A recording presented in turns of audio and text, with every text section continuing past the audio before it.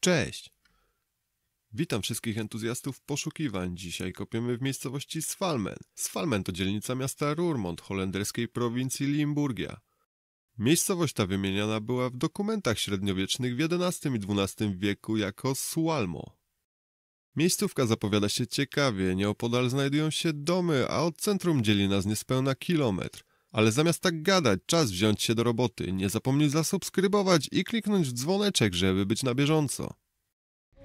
w grudzie moniak.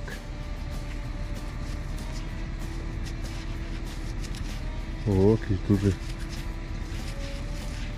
Wyczyszczę i przyjrzymy się mu bliżej. Ciężko cokolwiek powiedzieć, bo jest naprawdę taki gruby nalot, że nic nie widać. Jednocentówka.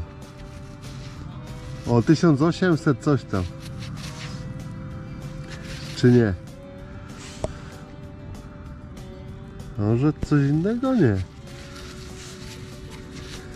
No takim coś tam widać. Nie no, cent, cent. 1800 coś tam rocznik. Dziura i kawałek koniny. Część. Przed chwilą jakiś guzik, taki podłużny. Mocno obrośnięty był, więc czekam aż trochę wyczyszczę. Się sam może wyczyści, odmoczy w wodzie.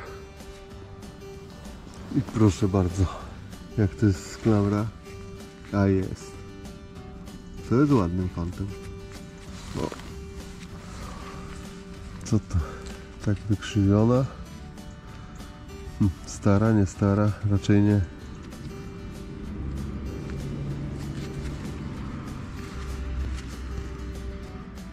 Jakieś może zdobienie wokół było, ale stare to to nie jest.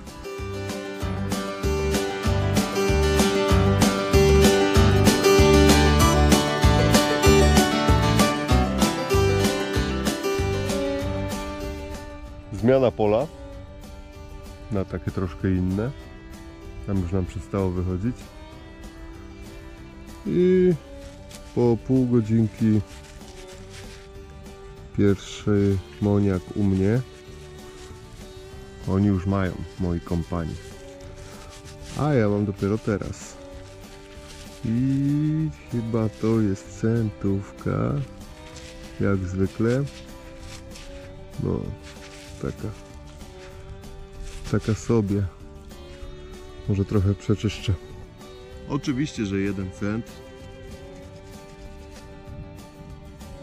nie da się tego ukryć fajny rocznik, może srebra tu będą ja tu kiedyś w tym lasku znalazłem srebrną monetę może i tutaj się coś trafi No chyba razem 8 monet mam. Nie, 7. Osobny. Ładny, ładny. Piękny. Pierwszy raz cały mi się trafił.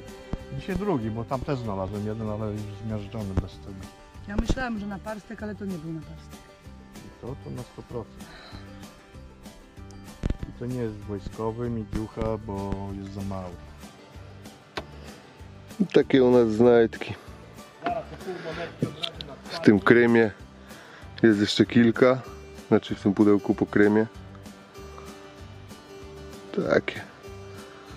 Jeszcze mam w kieszeni kilka w sumie. Guziczki. Kulki. O centóweczka wyszła. Nawet ładne to To nie są wszystkie, jeszcze muszą być gdzieś. srebrny naparstek Zobaczymy, prawdopodobnie, podejrzewam.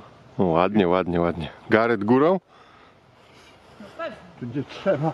Nie trzeba nic gadać, nie? Nawet górą! Śmieci też jest reklamóweczka. O, jest tego. Rzymskie okucie. Nie, to jest okucie.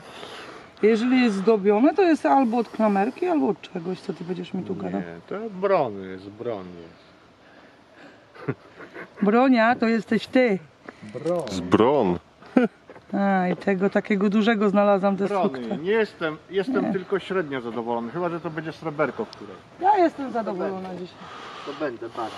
Ale tak jestem. Szczerze, że Propagator palenia papierosów tego pola albo marychłaniny. Nie marihuaniny, marihuaniny. Marychłanina to jest mi się wydaje. I to by było wszystko na dziś. Dzięki za oglądanie i do następnego. Cześć!